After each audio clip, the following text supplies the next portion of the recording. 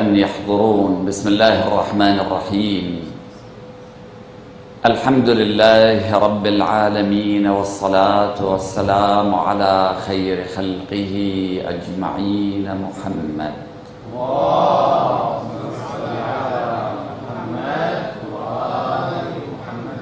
وعلى أهل بيته الطيبين الطاهرين المعصومين المكرمين وبعد. قال الله العظيم في كتابه الكريم إن الذين يغضون أصواتهم عند رسول الله أولئك الذين امتحن الله قلوبهم للتقوى لهم مغفرة وأجر عظيم. آمنا بالله صدق ربنا عز وجل وصدق القرآن وصدق رسول الإسلام. جاء أعرابي إلى مسجد رسول الله وسأل النبي ربنا قريب فنناجيه أم بعيد فنناديه؟ فسكت النبي فنزل الوحي عليه وإذا سألك عبادي عني فإني قريب أجيب دعوة الداع إذا دعاني. أنت لو كنت تمشي في الطريق فسمعت ضوضاء وارتفاع الأصوات فلا بد أن أول ما يخطر في بالك أن هنالك نزاعا وصراعا ومعركة ما بين بعض الأطراف وإلا لا داعي لرفع الأصوات أو أن حادثة مؤلمة قد وقعت وهؤلاء ينوحون على بعض القتلى والجرحى. ولكن لو ذهبت إلى غرفة فرأيت أن الجالسين فيها كأن على رؤوسهم الطير. سكوت مستمعون. فتعرف أن في المجلس عظيما يحترمه الحاضرون.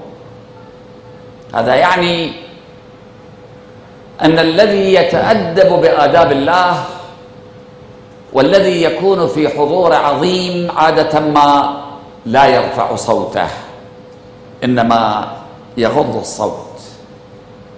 لا يتكلم بصوت عالي. نحن مكلفون بأن نحترم جميع الناس. ليس بمعنى فقط أن نصافحهم أن نعانقهم إنما أيضا أن نستمع إليهم أن نسكت إذا تكلموا وأن نخفض أصواتنا في حضور الآخرين. هذه واحدة من الآداب التي هي جزء من الإيمان. جزء من الإيمان. تصور إذا كانت النظافة فيما يرتبط باليدين والوجه وما يظهر من الإنسان جزء من الإيمان النظافة من الإيمان. فكيف بنظافة اللسان؟ وأدب الخطاب. هذا أيضا جزء من الإيمان. ولذلك ربنا في الآية التي سبقت هذه الآية المباركة يخاطب المؤمنين ويقول يا أيها الذين آمنوا لا ترفعوا أصواتكم فوق صوت النبي. ولا تجهروا له بالقول كجهر بعضكم لبعض أن تحبط أعمالكم. ترفع صوتك. حتى لو كنت تناقش أحدا والحق معك وكلامك منطقي ومعقول فإنه يكون أبلغ إذا لم ترفع صوتك عليه لأنه ينسى المحتوى وينشغل بالإطار ينشغل برفع الصوت. أصلا حتى لو ما يعترض عليك في داخله يقول إيش بيه ليش لا يرفع صوته أكو واحد كاتب كتاب لولده يعلمه فنون الخطابة من جملة كان مخلي فرد خطاب كامل. بعدين بالحاشية كاتب هنا ارفع صوتك لأن حجتك ضعيفة. اللي حجته ضعيفة هو اللي يرفع صوته. أما اللي حجته قوية ما يحتاج إلى رفع الصوت. ارفع صوتك فإن حجتك ضعيفة. مكلفون بالالتزام بأدب الخطاب حسب المقام. يعني لو كنت في حضور رئيس دولة زعيم أمة عالم كبير فلا بد أن يكون صوتك همسة. وهكذا حسب بعض الأحاديث أن بعض صحابة النبي بعد نزول الآية الكريمة يا أيها الذين آمنوا لا ترفعوا أصواتكم. هذا كان يتكلم ويا النبي حتى أن النبي كان يستفهمه. شو بدك تقول؟ ماذا أسمعك. وضح شوي أرفع صوتك. طبعا النبي من جهة أخرى سبحان الله كم كان رحيما بأمته. ربنا هدد أولئك الذين يرفعون أصواتهم فوق صوت النبي بأن يحبط أعمالهم. يعني مثل مزرعة كما في المثال واحد يجي يحرقها. الله يقول أحرق كل أعمالكم أحبط كل أعمالكم. فالنبي إذا واحد مو متعمد كان يرفع الصوت عليه النبي كان يجاوب بصوت أرفع منه حتى لا يحبط الله عمل ذلك الصحابي. مثلا يقال أن رجل جاء صوته كان جهوري بعض الناس حنجرتهم حنجرة قوية شايف هذول الإفريقيين يوم اللي يتكلمون؟ الله مطيهم في الموهبة أن أصواتهم فرد أصوات عميقة جهورية. في بعض الناس لا صوته ضعيف. بعض الرجال أصواتهم أصوات النساء مثلا. الرجل لازم يكون صوته جهوري بمقدار معين. بعضهم عنده موهبة أن صوته أكثر جهورية من الآخرين. اجى واحد فرفع صوته من وراء جدار ونادى النبي صلى الله عليه وآله وسلم فرفع النبي صوته أكثر منه حتى لا يحبط عمل ذلك الرجل. على كل حال نبي الرحمة. زين إحنا فيما يرتبط بسنن الله عز وجل وهي كثيرة بالطبع عندنا سنتين مهمتين. سنة الثواب والعقاب وسنة الامتحان. لا يخلو أحد من الامتحان. أنت في كل لحظة في حالة امتحان. إذا عندك خير أنت في حالة امتحان إذا أنت في شر أنت في حالة امتحان إذا غني أنت في حالة امتحان إذا فقير أنت في حالة امتحان إذا أنت الزوج الله دا يمتحنك بزوجتك إذا زوجة رب العالمين دا يمتحنها بزوجها. وجعلنا بعضكم لبعض فتنة. يعني امتحان حتى العدو بالنسبة لك امتحان وأنت بالنسبة له امتحان. الإمام الحسين كان امتحان لمن عاصره والذين عاصروه من أعدائه كان كانوا امتحان الإمام الحسين. إنا أهل بيت ابتلانا الله بكم يعني امتحننا وابتلاكم بنا فجعل بلاءنا بلاء حسنا. أنت دائما في حالة امتحان. يزين إذا أنت وحدك قاعد هنا ودا تستمع على خطاب. أيضا في حالة امتحان. طبعا طبعا في حالة امتحان. شنو النيات والخواطر اللي دا تمر في ذهنك؟ تدري الإنسان في حالات اليقظة ألوف الخواطر تخطر في باله ألوف الخواطر. من أول ما تفتح عينك إلى أن تغلقها. أصلا إذا شفت فرد واحد بالطريق يجي في بالك تعرفه متعرفه طويل عريض. إذا تعرفه تحاول الفايلات اللي عندك مخزنة في دماغك هذه تفتحها وتتذكر الحوادث اللي مرت الكلام اللي قاله. إذا عدو إذا صديق إذا تحبه إذا تبغضه ماكو فرق دائما تمر عليك خواطر. بس هذه الخواطر بعضها جميلة وبعضها غير جميلة. على كل حال أنت ممتحن وأنت جالس. بماذا تفكر الآن؟ الذين يستمعون القول فيتبعون أحسنه. هل أنت تستمع؟ ولا مخك مكان ثاني؟ تتفكر شنو مثل ذاك اللي سمع أنه من صلى ركعتي صلاة بإخلاص بشروط الصلاة أوجب الله له الجنة. قال أروح فرد مكان وحدي مسجد من المساجد وأصلي ركعتين صلاة. متوجها إلى ربي حتى يوجب الله لي الجنة. وقف بالصلاة. راح. من جملة قال طالع الجدران. شاف هذا المسجد حلو بس ما بي منارة. قال لازم إحنا نبني منارة. وده يقرأ الصلاة. ده يقرأ سورة الحمد يفكر في المنارة. من وين أطلع الفلوس؟ أجمع تبرعات. أي مهندس أروح عليه؟ العمال من وين أجيبهم؟ مش قد هذا؟ يكلف يوم اللي كمل صلاته كمل المنارة. كل فكرة كان بالمنارة. بس هذا هم زين يفكر في منارة المسجد. بعض الناس يفكر في أشياء أخرى. على كل حال الإنسان دائما في حالة امتحان ولا أريد الدخول في التفاصيل. لكن بالإضافة إلى سنة الامتحان والتي هي من السنن الكبرى ومن جملة أسباب خلقنا في هذا العالم قبل نقلنا إلى بيتنا النهائي في عالم الآخرة هو الامتحان. وإلا رب العالمين أهل الجنة يوديهم للجنة وأهل النار يوديهم للنار. لكن أتى بنا إلى هذا العالم سبعين سنة ثمانين سنة مئة سنة أقل أكثر للامتحان. فأنت دائما ممتحن وأنت دائما في حالة فتنة. وبناء على نجاحك في الامتحان أو فشلك في الامتحان أكو سنة إلهية ثانية سنة الثواب والعقاب. شوف النبي حينما أرسل إنا أرسلناك شاهدا ومبشرا ونذيرا وداعيا إلى الله. مبشرين ومنذرين. الأنبياء حينما جاءوا عندهم آه، شيئين. يبشرون المؤمنين وينذرون غيرهم. الله هم عنده ثواب هم عنده عقاب. اكو بعض الدول بعض الحكومات عقاب عندهم ثواب ما عندهم. إذا أنت في السياقة ما مشيت على القانون دعمت حائط دعمت أحد دعمت سيارة يعاقبوك. لكن إذا أنت عشر سنوات ما دعمت أحد أحد يعطيك جائزة؟ ما يعطيك جائزة.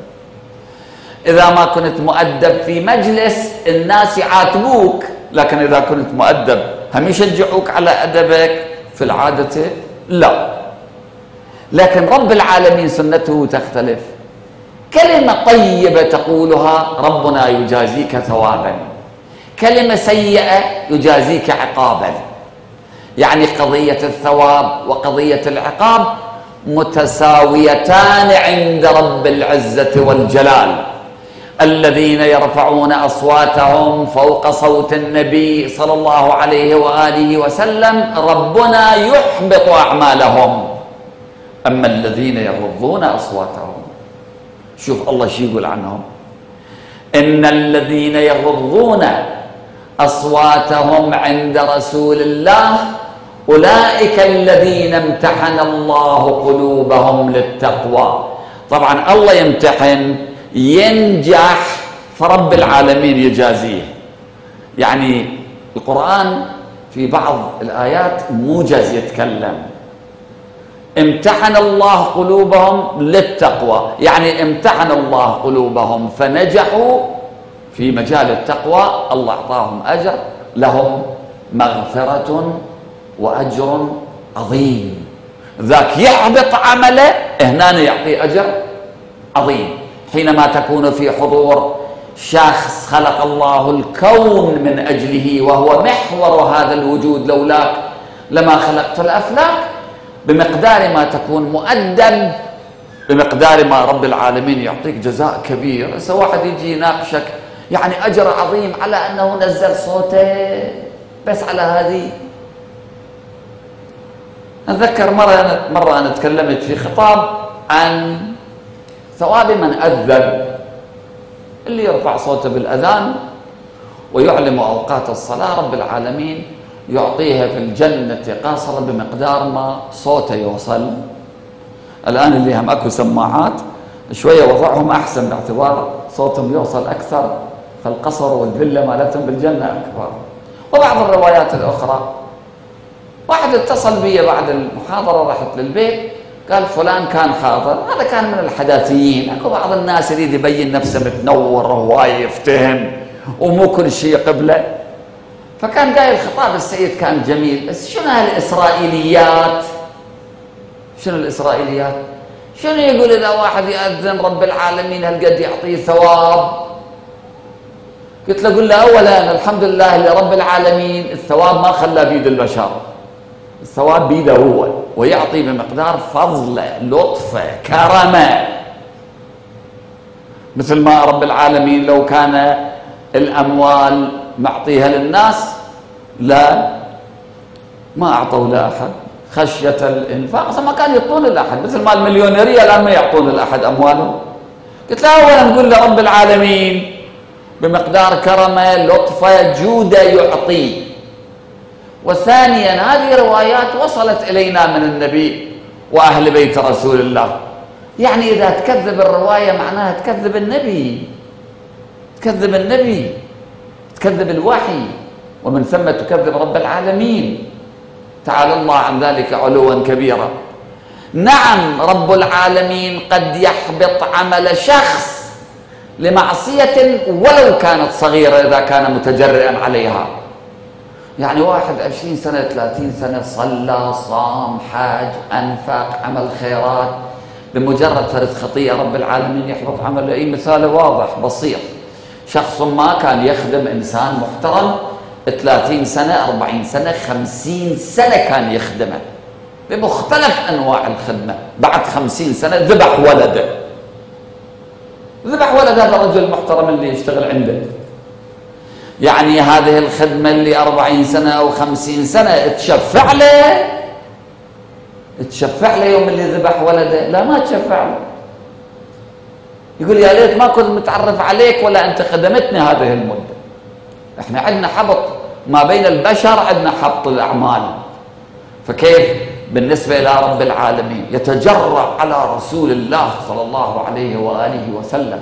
ورب العالمين ينهاه عن رفع الصوت ومع ذلك يعاند ويرفع صوته فوق صوت النبي. زين بالعكس أيضا إذا التزم الإنسان بالأدب احتراما لرسول الله باعتباره نبيا باعتباره مرسلا من قبل الله عز وجل إلى البشرية هذا احترام لله. احترامك للنبي هو احترام لله. مثل احترامك للقرآن. حينما تجد القرآن تقبله تضعه على رأسك. لأنك تحترم كلام الله. لأنك تحترم الله. كما قلنا ربنا هو القدوس. فما يرتبط به مقدس. أي شيء يرتبط به. أي شيء هو يعينه. بعدين قلت له قل له يعني رب العالمين لازم ياخذ من عندك ومن أمثالك إذن إذا راد يعطي ثواب حتى أنت تعطي هذا الإذن أو ما تعطي. كان أحد مراجعنا رحمة الله عليه يقال حينما يأتيه أحد ويطلب منه حاجة كان ذاك المرجع يقول له إيش قد تتوقع أعطيك؟ مرحوم السيد البرجلي هكذا كان. يسأله. جاي طالب حاجة يقول إيش قد تتوقع؟ يقول هذا يقول اعطه يوم اللي عنده يقول اعطوا بعدين اكتشفوا أن الإنسان إذا عين مبلغ هو الخسران. واحد من هذول الأذكياء اكتشف المسألة. راح عند السيد طلب من عنده حاجة. قال إيش قد تتوقع أعطي؟ قال بمقدار كرمك. يقولون السيد أعطاه بمقدار ما أغناه. يعني بعد ما أحتاج الامان بمقدار كرمك. هذا كرم رب العالمين. لا يقارن أكرم الأكرمين. أنت تجيب كل الأكرمين. على مر التاريخ ربنا أكرم. بما لا يقاس. شوف علامات كرم رب العالمين. الآن البشرية تحتاج إلى مقدار من المي. لكن يوم اللي المطر ينزل ينزل بمقدار السيول. حينما يخلق البحار يخلق بمقدار 72% من الكرة الأرضية بحار ومياه. الله يعطي بلا حساب. هذه الشمس المشرقة تشرق على جميع الناس على برهم وفاجرهم على من يؤمن به ومن لا يؤمن به. هذا معنى الكرم هذا معنى الجود. كرم أن تعطي حينما تسأل الجود أن تعطي بدون السؤال. أنت تبادر في العطاء. رب العالمين هم كريم؟ بناء على الطلب يعطي. ورب العالمين أيضا جواد. يا جواد يا كريم. الشاهد. إذا سنتان مهمتان من سنن الله. سنة الامتحان وسنة الثواب والعقاب بناء على الامتحان. الله ما يعطي بناء على علم. هاي نقطة جدا مهمة التفتوا إليها. الله يعرف أنت راح تصلي. يدري لكن ما يعطيك الثواب بناء على علمه بناء على صلاتك. إذا صليت أعطاك. كما أنك تعرف جايب لك عامل في البيت يشتغل تدري راح يشتغل. بس تعطيه مبلغ من المال قبل ما يشتغل؟ لا. يوم اللي يشتغل تعرف هذا الخياط بقولة أحد الخطباء؟ يقول أعرف هذا الخياط راح يخيط ثوبي. بس ما تعطي مبلغ من المال إلا سلفة إذا طلب من عندك وإلا يوم اللي يخيط الثوب تعطيه. مو بناء على علمك. بناء على عمله. الله يعرف أن هؤلاء العباد مطيعون وأولئك غير مطيعين. دخل رسول الله صلى الله عليه وآله وسلم ذات مرة إلى مسجده وبيده ورقتان. قال هؤلاء أهل الجنة وهؤلاء أهل النار. النبي يدري الله يدري. يعني أنا يوم اللي أصلي حتى الله يعرف لأنه ما يعرف الله يعرف. الله يعلم قبل وقوع الحق يا من؟ يعني عالم إذ لا معلوم. ما يمكن مقارنة رب العالمين بأنفسنا فيما يرتبط بصفاتنا البشرية العاجزة الضعيفة. عالم إذ لا معلوم. لكن الثواب يأتي بناء على عمل العبد. الله يمتحنك ويعرف مسبقا هل ستنجح أو ستفشل إذا نجحت أعطاك. وإذا فشلت عاقبك والامتحان نوعين. امتحان يرتبط بالروح وامتحان يرتبط بالعمل. يعني امتحان معنوي وامتحان مادي. الله يمتحنك فيما يرتبط بالحسد بالبغضاء بالأشياء اللي هي كبر مثلا. قد يكون إنسان أعماله جيدة صحيحة لكن في قلبه متكبر. يريد الناس يعظموه. يريد الناس يمدحوه بما لم يفعلوا. هذه من صفات غير الصالحين. ويحبون أن يحمدوا بما لم يفعلوا. يعجبه يقولون هذا مؤلف ذاك الكتاب. فإذا قالوا عنه هو المؤلف ما يقول لا ترى أنه هو المؤلف. لا يعجبه كيف؟ إذا أن الناس مدحوه بما لم يفعل. هذه من صفات غير الصالحين. زين. عند في قلب كبر لا يدخل الجنة من في قلبه ذرة من كبر. صليت صمت يقول لك إبليس أيضا خمسين ألف سنة عبد ربه. لكن بتكبر واحد الكبرياء ردائي. فمن نازعني ردائي أدخلته النار ولا أبالي. ما لازم يكون عندك. هذه معصية كبيرة. قال واحد كان رايح إلى مستشفى الأمراض آه، مجانين. فشاف الواحد ولد اجى شاب حكى وياه تكلم وياه. قال ليش جايبك هنا؟ أنا؟ قال كل السبب ما أنا متخرج من الجامعة أنا خبير في فلان شأن أنا في قضية كذا كذا. كان في عهد الملكيين في العراق. فقعد وياه فد مده يناقشه يتكلم عاقل. ليش جايبي دار المجانين؟ راح أتكلم مع المسؤول. قال على شنو جايبين هنا؟ قال هذا الرجال يشوف نفسه ملك في هالبلاد. ولذلك هذا اسمه مثلا مثلا اسمه ناصر. قل له ناصر شوف يجاوبك ولا اجى قال له ناصر. هذا تقدم إليه وضربه كف. قال له أنا صاحب الجلالة الملك ناصر. هذا تذبوه في مستشفى الأمراض العصبية في دار المجانين. ترى نص هذول اللي تشوفهم بالشوارع من هالنوع. ها كل نفس أضمرت ما أظهر فرعون. فرعون قال أنا ربكم الأعلى بس كل واحد بقلبه يقول أنا ربكم الأعلى. لذلك إذا شوية بسيارتك أنت تتقدم على سيارته مستعد ينزل ويضربك بالحديد وألف شيء يسوي. ليش؟ يشوف نفسه كبير. إذا دخل في مجلس وأنت ما احترمته ياخذ بخاطره ليش ما احترمني فلان؟ هذا امتحان القلب. هذه امتحانات مثل ما في الروايات عندنا أول ما عصي الله الكبر ثم عصي بالحسد ثم عصي بالطمع. شنو اللي طلع إبليس من ملكوت السماء؟ وتكبره. خلقتني من نار وخلقته من طين. زين الله خالقك نار طين هواء بالنتيجة الله خلقك. ما كنت فكونك. اسمع كلام رب العالمين. لا أنا أصلي. هاي العنصرية اللي لا تزال البشرية تعاني منها بشدة. بشدة البشرية تعاني من العنصرية. شلون تعاني من العنصرية الآن؟ أنتم سمعتوا قضية اللاجئين خلال هذه المدة؟ طبعا خلال أقل من عام 8765 ألف ماتوا غرقا في البحار لأنهم يريدون الوصول إلى الدول الأوروبية.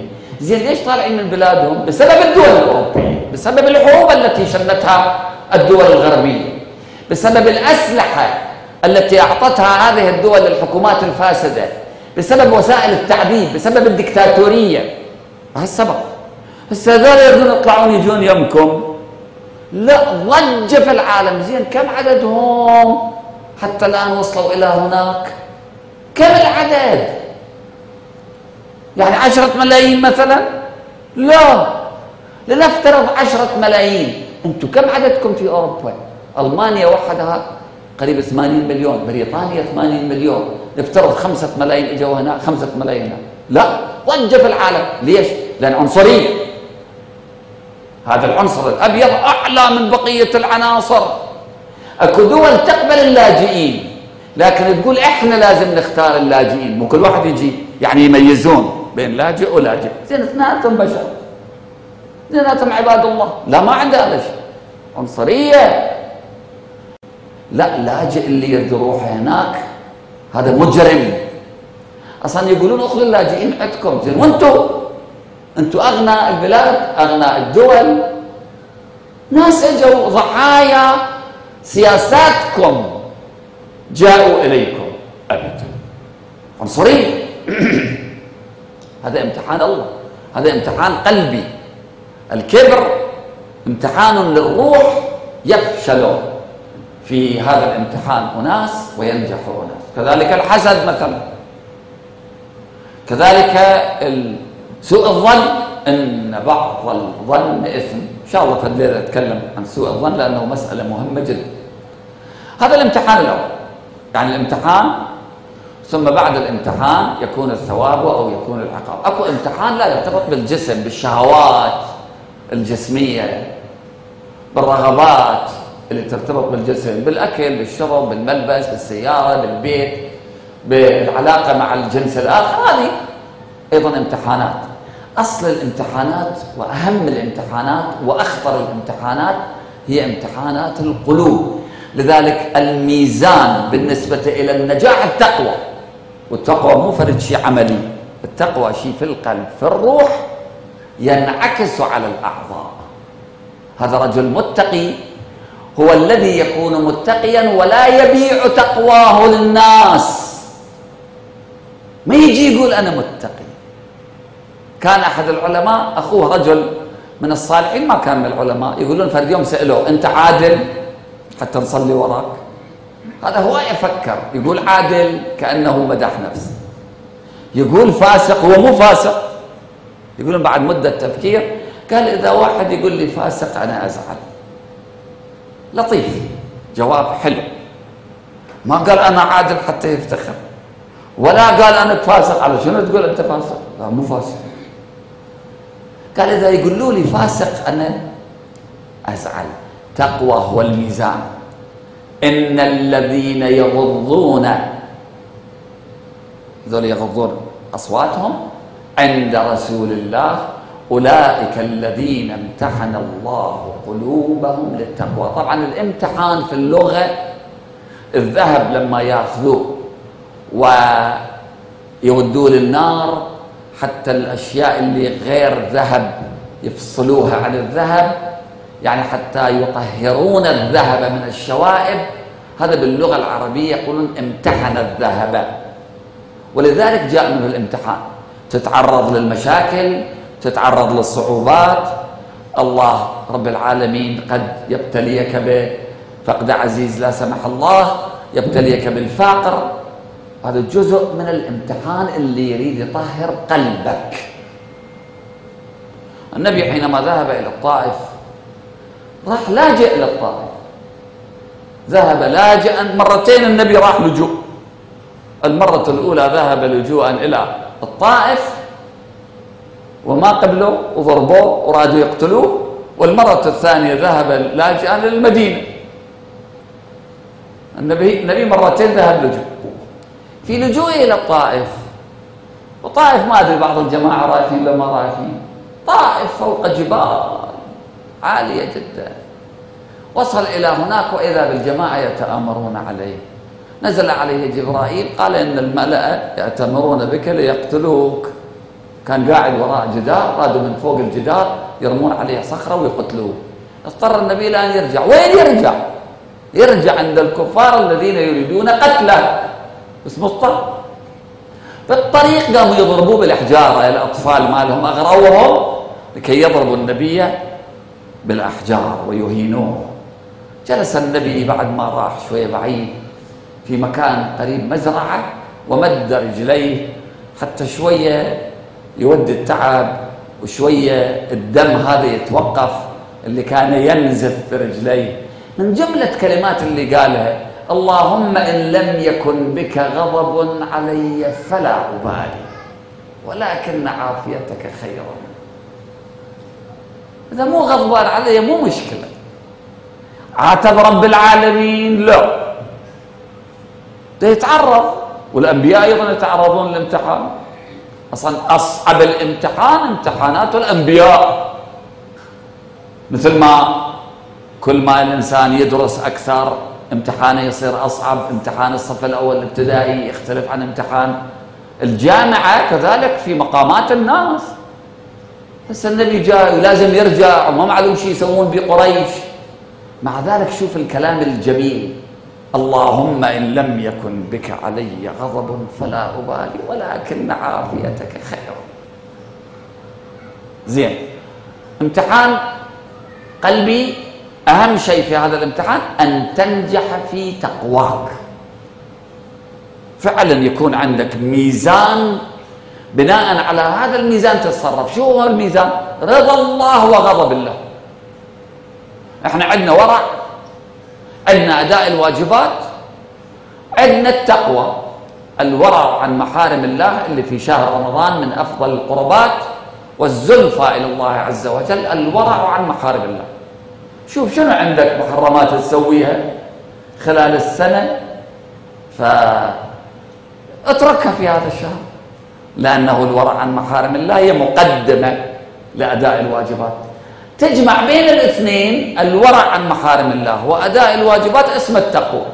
التقوى يعني الورع عن محارم الله وأداء الواجبات مو فقط الورع عن محارم الله. أكو واجبات عليك أنت مسؤول لازم تأديها. أولئك الذين امتحن الله قلوبهم للتقوى لهم مغفرة وأجر عظيم. المغفرة دائما تجي قبل الأجر. ليش؟ لأن إذا أنت تبني فرد بناية أول شيء لازم تصفي الأرض ما شكل؟ رب العالمين أولا يغفر لعبده ثم يعطيه من الأجر ما يعطيه ويعطيه أجر عظيم.